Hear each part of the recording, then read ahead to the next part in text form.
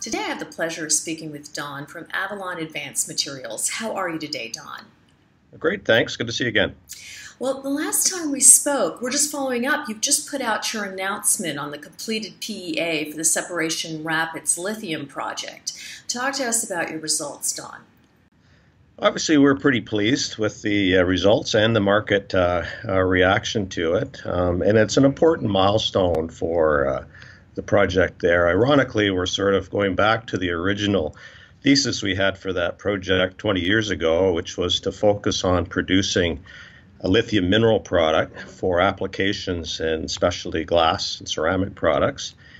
And we're seeing that as a, a, logical thing for us to do now, at least to get started in the business. And we see it as kind of phase one get into production at a relatively modest scale and build scalability into it to allow us to add in um, a lithium battery material product at a later date as a future scale up of the uh, operation. Well, and, and Don, uh, you have an offtake agreement already with Lepidico. You want to talk about that and where you're going to take it next, how you plan on doing this, say, in the next couple of quarters? Yeah, because of uh, Lepidico's interest in uh, the lepidolite product at Separation Rapids, which is a relatively minor byproduct, and the fact that they were building a process plant in Ontario, it makes sense for us to recover that as a byproduct from the um, separation ore and serve their uh, their needs as well. And their initial needs fit with the amount of product we uh, look it looks like we can deliver at this early stage in the development. So it's a good fit for us. But the primary focus will be on uh, on the petalite for the for the glass industry. Uh, that's the main mineral in the resource. And as the PEA shows, uh, we can do that at a relatively modest capital expenditure um, compared to what it's costing to bring new lithium battery material supply to the market. And um, that's an attractive feature at 70 to 80 million dollars in capital to get started. And given how lithium has been repriced, it allows for uh, very attractive um, returns on investment there in the uh, with IRRs above 20%.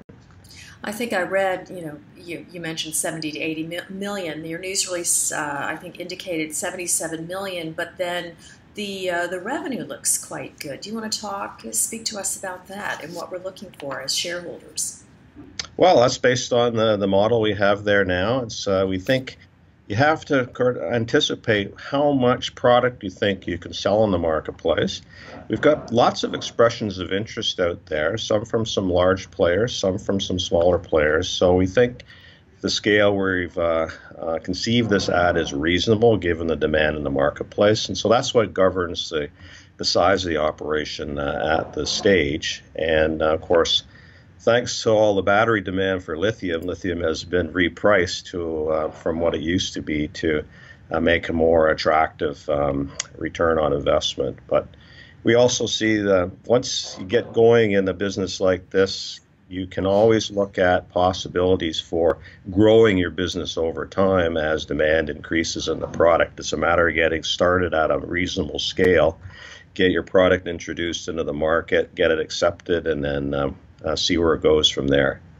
And of course, in addition to Separation Rapids, you have two other projects. And speaking of demand, with the latest U.S. Defense Act, are you receiving a lot of inquiries about Nechalacho in the Northwest Territories and uh, rare earths? Oh yeah, still on our radar screen uh, for sure. The interest in uh, our rare earths, and uh, we are keeping an our eye on that, waiting for the right opportunity to uh, renew activities there and be ready to go when uh, the opportunity comes along. But our focus is on uh, Separation Rapids Lithium and our East Kemptville uh, tin projects right now that are very close to being able to move into this next phase of, of development towards construction and production.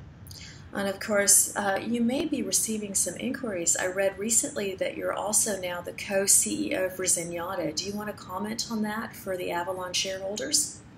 Sure. I do want to assure all of our shareholders I haven't gone anywhere. I'm still maintaining all the duties and responsibilities that I have for Avalon. I guess I'll be working even more nights and weekends than I do already to handle the additional work. But uh, Zenyatta's a, a fascinating story as well, a very unique graphite resource. And we're seeing lots of opportunities to serve this emerging uh, market for graphene because of the new um, uh, markets that are developing there and the quality of the resource there. It was going through a transition period. I've been uh, semi involved in that company for a long time and, and uh, thought I could be helpful to get through this transition by lending my help as co CEO on an interim basis until we get the company kind of back on track again. Well, that'll obviously be a win win for everyone involved because of your relationships in the battery material sectors. So, uh, Don, then with the separation rapids deal, what should we as shareholders anticipate in the next couple of quarters? I think you talked about taking the pilot program to the next level. With this confirmation on the viability of the project, the next step for us is to uh, firm up the um, the critical offtakes we need to justify the um, capital investment to move forward with, with the next phase of work. And uh, we've got that interest now. And then before we can um, go ahead with construction, there's some feasibility level work still be, to be done. We want to do another bulk sample, finalize our process flow sheet to feasibility level um, uh, standards, and then um, from there generate more product for samples for the market and then be in a position then to finalize the business case to go um, forward with uh, production. Of course, in parallel with that, we'll complete our environmental assessment work and the and the necessary permits, um, get all those in place, and um, work out agreements with our First Nation partners. Well, Don, thank you so much for joining us today, and thank you for the update. Thank you, Tracy.